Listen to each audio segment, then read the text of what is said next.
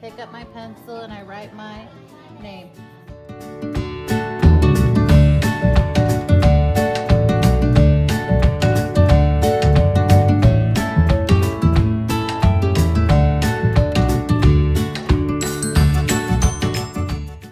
I can use my shapes to trace with practice, right?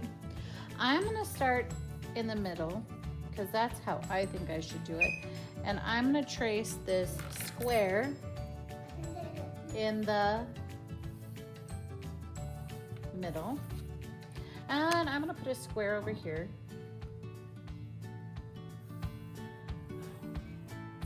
Where my square touched another square, did I have to trace all the lines?